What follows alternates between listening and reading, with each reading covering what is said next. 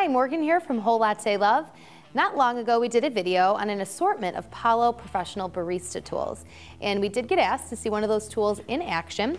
So we're gonna be taking a close-up look at the Pallo Caffeine Wrench. Now this baby is six plus tools in one. You've got 8, 12, and 13 millimeter steam wand tip wrenches, and you use these to remove and install steam wand tips. The 8 millimeter wrench also fits most group bolts as well. The flathead screwdriver can be used to disassemble the group and as a pry to remove baskets from portafilters. The 8mm wrench area doubles as an external steam wand scraper. And if you notice, there's a taper in the valley, and this is going to give you some leverage to remove built-up milk residue on neglected steam wands. The pointy end here is a soft group gasket probe.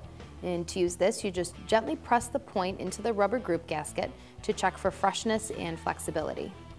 The probe can also be used to pry out soft group gaskets for cleaning and maintenance. But be aware this should not be used on pressure fit gaskets like those found on E61 brew groups. The caffeine wrench features an angled rubber coated handle, making it easy to hold, pick from a drawer, and easy to reach 8mm group bolts.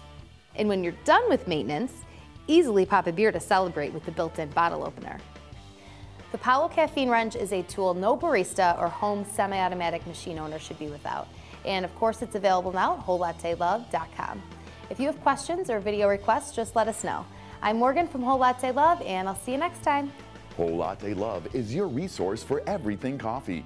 Subscribe to our YouTube channel for daily updates on new coffee gear, plus hundreds of videos including how-tos, equipment reviews, recipes, expert technical advice, and more.